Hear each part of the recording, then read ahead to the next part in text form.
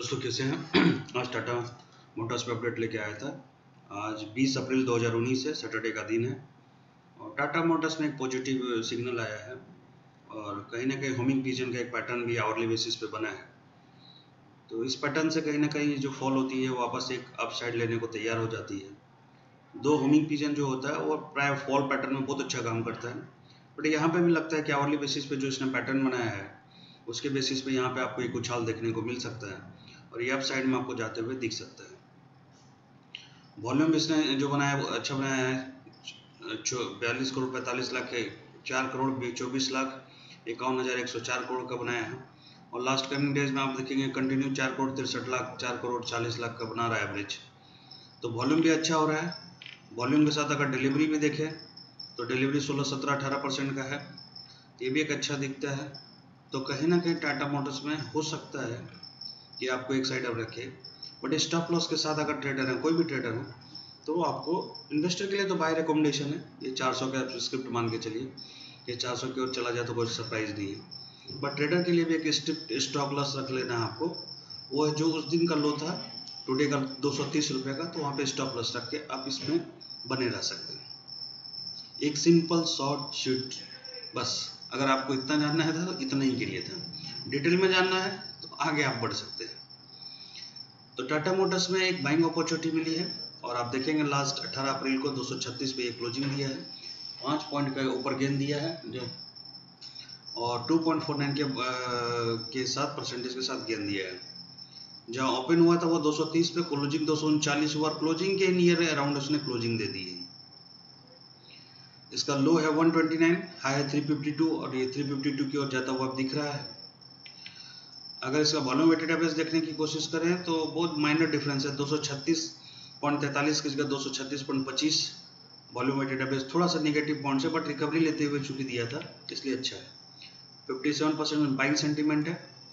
एक अच्छी long term point of view से एक अच्छी बात बताता हूँ।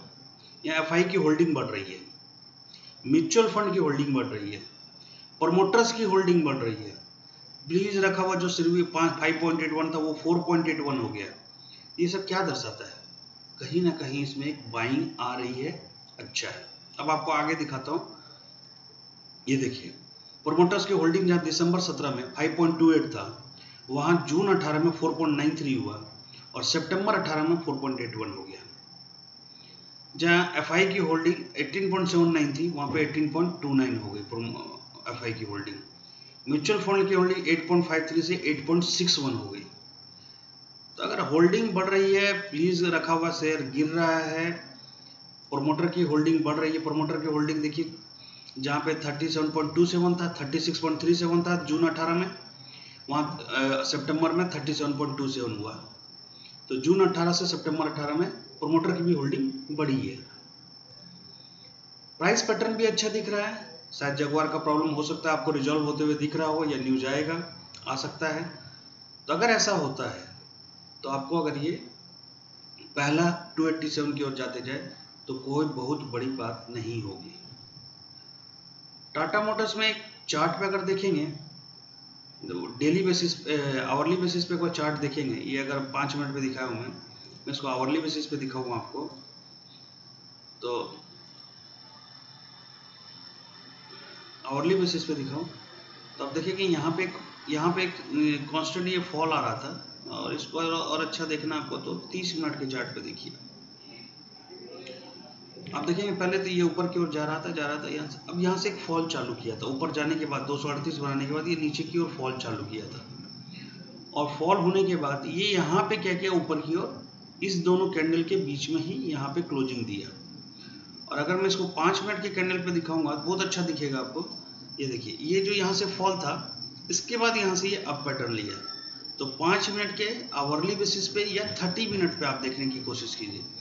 तीनों केस में आपको देखने को मिलेगा। ये कहीं ना कहीं जो फॉल होता है स्टॉप किया और अप साइड लेके जाया, जो कि एक कहीं ना कहीं होमिंग पिजन का पैटर्न होता है कि एक फॉल के बाद ये ऊपर लेता है और इस कैंडल इस क्लोजिंग इस कैंडल और इसके बीच में देना चाहिए। तो अगर ऐसा है तो इसमें एक स्टॉप लॉस भी देता है, होता है। स्टॉप लॉस क्या लेना चाहिए फिर आपको? तो स्टॉप लॉस डेली बेसिस पे देखें तो कहीं ना कहीं आपको इस कैंडल के जो लो कैंडल था, इसका जो लो था 225 बनता है। तो आपको 225 का, देखिए, पहला एकदम शॉर्ट लेना है तो 230 का लेना आपको। लेकिन थोड़ा सा दूर आप जाए तो 225 का बने रहे, और इसका जो एक स्पाइक जो जाकर के लो बनाया था 234.10 लो बनाया सॉरी 225.65 तो 225.65 तो 225 का आप स्टॉप लॉस इसमें मेंटेन कर लीजिए और इसमें लॉन्ग पोजीशन के लिए आप जो शॉर्ट टर्म के ट्रेडर है, वो इसमें पोजीशन सोच सकते हैं, देख सकते हैं। यहाँ से ये ऊपर की ओर हो सकता है, पहला 252 255 की ओर जाए और वहाँ से 287 की ओर जाते हुए जाए तो कोई बहुत बड़ा सरप्राइज़ नहीं होगा। डेली बेसिस पे ऐसे भी आप देखें तो डेली बेसिस पे जो है नाइन दिन का जो एवरेज है, वो सारे कैंडल को क्रॉस करते हुए इनफैक्ट आप देखेंगे 217 का जो था, इसका 200 का डेमा था, उसको भी क्रॉस क्रॉस कर दिया है। तो लॉन्ग टर्म के ट्रेडर जो है 217 का स्टॉप लॉस लगा लें, जो कि इसका डेली बेसिस पे 200 का डेमा है। जब तक ये नहीं तोड़ता है, तब तक आपको इसमें बने रहना है और इसको दो सौ पचासी, तीन सौ पंद्रह, तीन सौ पचास, तीन सौ पचासी के टारगेट के लिए आपको ऊपर की ओर बने रहना है। लॉन्ग टर्म के ट्रेडर अगर हैं तो 217 पर अपना स्ट्रिक्ट स्टॉप लॉस लगा लें, जो कि इसका 200 डेमा है।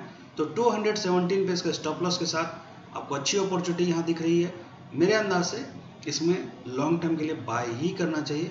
शॉर्ट टर्म के लिए भी हैं तो आपको 255 के टारगेट के साथ हो सकता है आपको इसमें पोजीशन बनानी चाहिए, जो कि अपसाइड है। स्ट्रिक्ट स्टॉप शॉर्ट टर्म में आपको 225.65 का रखना पड़ेगा अदरवाइज़ स्टॉप लॉस टिकट हो जाए तो कोई प्रॉब्लम नहीं शॉर्ट टर्म के लिए एक बार चलिए इसको डेरिवेटिव पे देखते हैं।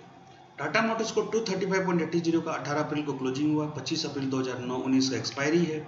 ये साइड में पुट है और ये साइड में कॉल है। पुट क्या करता है अपने को? नीचे जाते हैं तो सपोर्ट देता है।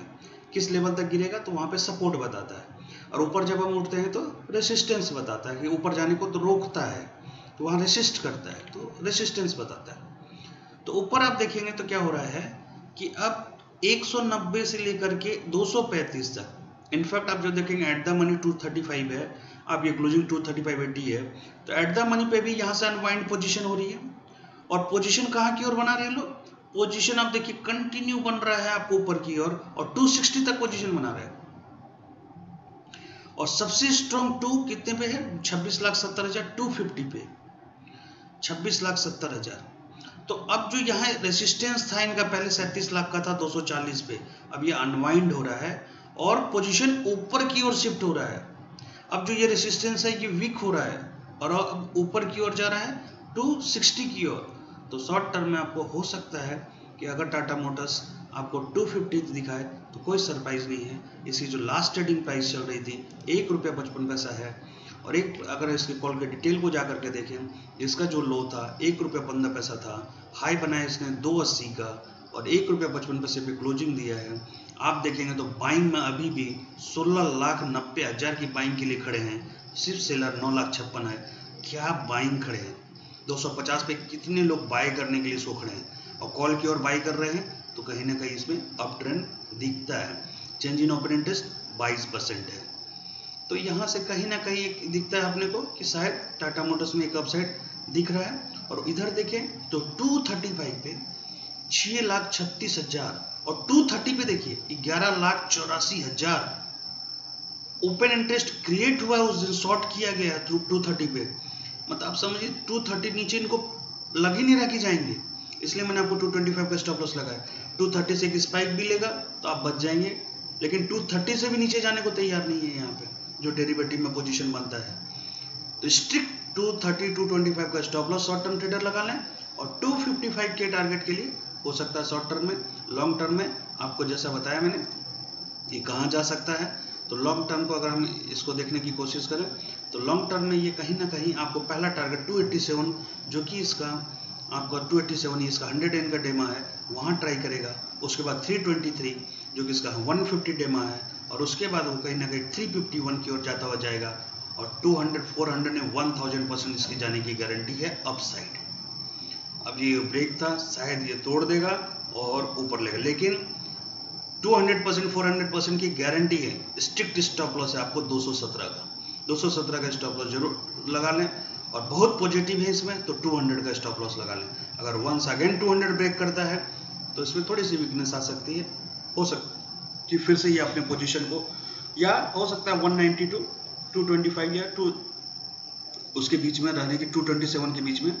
नया पोजीशन 190 टू 227 हो सकता है इस रेंज में ये वाले कुछ दिन अपने को स्टेबिलिटी के लिए हो सकता है खड़ा हो जाए फिर। निगेटिव कहीं भी नहीं है। बाइंगे सिर्फ़ बाइंगे और बाइंगे टाटा मोटर्स पे। वीडियो देखने के लिए बहुत धन्यवाद। और मेरी कोई सलाह नहीं है आपको कि आप इस पर बाय करें और यह सेल करें। पैसा आपको है। ध्यान आपको रखना पड़ेगा। सबसे ज़रूरी चीज़ क्या है इसमें?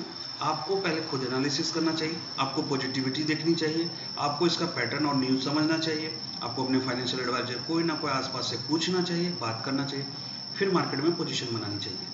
डायरेक्ट आप पोजीशन बनाएँगे, आपको समझ में नहीं आएगा, कब निकलना है, कब आउट होना है, आप समझ नहीं पाएँगे लॉस होगा तो ब्लेम करेंगे, फिर बोलेंगे जो वीडियो बनाता है उसको टेक्निकल एनालिसिस नहीं है, उसको वो नॉन नॉलेज नहीं है, आप झूठा एक भ्रम पैदा कर लेंगे।